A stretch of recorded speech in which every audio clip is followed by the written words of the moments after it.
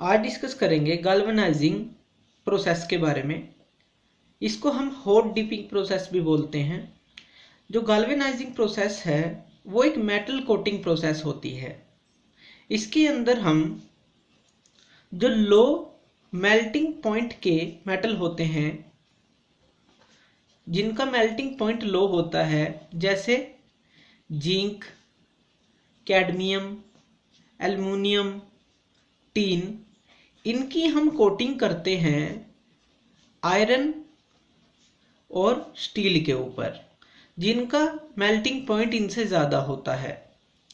इसमें ये जो आयरन और स्टील है, ये कैथोड की तरह काम करते हैं, जबकि जिंक, कैडमियम, एल्युमिनियम या टीन, ये एनोड की तरह काम करते हैं।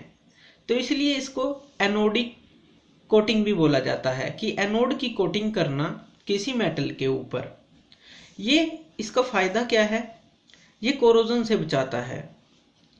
तो कोरोजन को रेजिस्ट करने का काम ये कोटिंग करती है। इसके अंदर हमारे पास प्रोसेस होती है जिंक। अगर हम जिंक की कोटिंग करते हैं तो जिंक प्लस आयरन और स्टील इन दोनों के बीच में प्रोसेस होती है। जिससे आयरन और स्टील के ऊपर कोटिंग हो जाती है। मान लीजिए आयरन की बार है। तो इसके ऊपर कोटिंग हो जाती है जिंक की।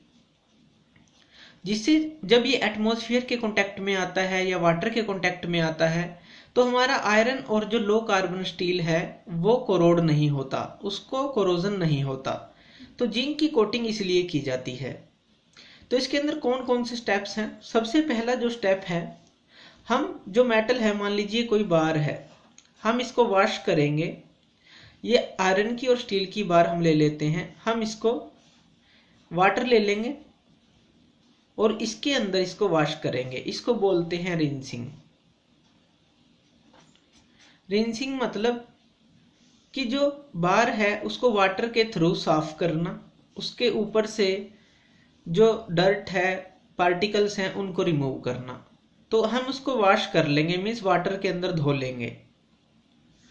दूसरी जो प्रोसेस है, वो है पिकलिंग उसको धोने के बाद, सुखाने के बाद, ये प्रोसेस पिकलिंग हम करते हैं। पिकलिंग में क्या होता है? एक कंटेनर के अंदर डाल्यूट H2SO4 होता है। डाल्यूट सल्फ्यूरिक एसिड हम इस बार को सुखाने के बाद, जैसे हमने इसको ड्राई किया सुखाया। उसको अब हम इस डाल्यूट H2SO4 के सॉल्यूशन में डाल देते हैं।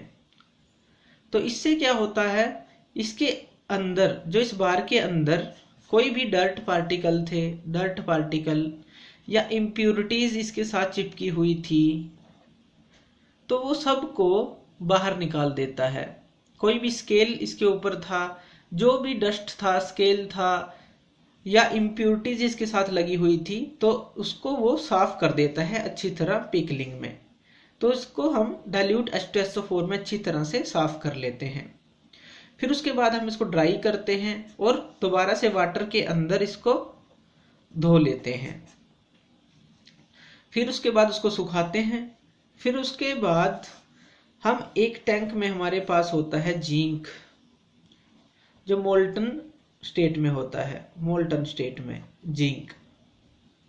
और इस मोल्टन जिंक का टेम्परेचर जो होता है, वो होता है लगभग 450 डिग्री सेल्सियस के करीब।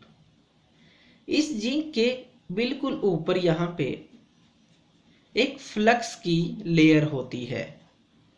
जो ये मोल्टन फ्लक्स की लेयर है, ये जिंक अमोनियम क्लोराइड की लेयर होती है। इस सॉल्यूशन के बिल्कुल मोल्टन मेटल के ऊपर फ्लक्स की लेयर होती है। इस टैंक के अंदर ये जीक मोल्टन मेटल 450 डिग्री सेल्सियस पे होता है। तो ये फ्लक्स क्या काम करता है? फ्लक्स ऑक्साइड फॉर्मेशन से बचाता है। जो ऑक्साइड फॉर्मेशन बनेगी तो उसको होने से बचाएगा ये फ्लक्स की लेयर तो अब जो ये बार है, हम इसको इसके अंदर डिप कर देंगे। तो कुछ टाइम के लिए हम इसको इसके अंदर रखेंगे। ये अकॉर्डिंग टू स्ट्रक्चर होता है। अगर छोटा है कोई पार्ट तो हम उसको कुछ मिनट्स के लिए रखते हैं। अगर कोई बड़ा पार्ट है तो उसको हम लगभग हाफ़ एन आवर के लिए भी इसमें रख सकते हैं। उसके बाद हम जब इसको निकालेंगे, ये फ्लक्स की लेयर से होता हुआ निकलेगा और इसके ऊपर कोई भी ऑक्साइड लेयर नहीं होगी और इसके ऊपर एक जिंक की कोटिंग क्रिएट हो जाएगी। तो इस बार के ऊपर एक जिंक की कोटिंग क्रिएट हो जाएगी। जो इसको सारी को कवर करेगी। अब ये कोरोजन रेजिस्टेंस प्रोवाइड करेगी जिंक की कोटिंग इसको। ये जिंक की कोटिंग है। फर्दर हम एक और प्रोसेस कर सकते हैं। अगर इसके ऊपर एक्सेसिव जिंक की कोटिंग हो चुकी है तो हम रोलर्स लेते हैं और रोलर्स के बीच से इस बार को गुजारते हैं। जिससे क्या होता है, जो एक्सेसिव जिंक की कोटिंग है, वो साफ़ हो जाती है, एक्सेस में नहीं रहती। तो इस तरह से भी हम इसकी जो एक्सेस की कोटिंग है, उसको रिमूव कर सकते हैं हल्की सी, रोलर्स में से गुजारने के बाद।